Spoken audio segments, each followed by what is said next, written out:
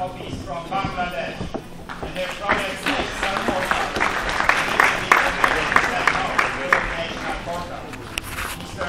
Anwar will be receiving the prize on behalf of the Prime Minister's Office from Bangladesh.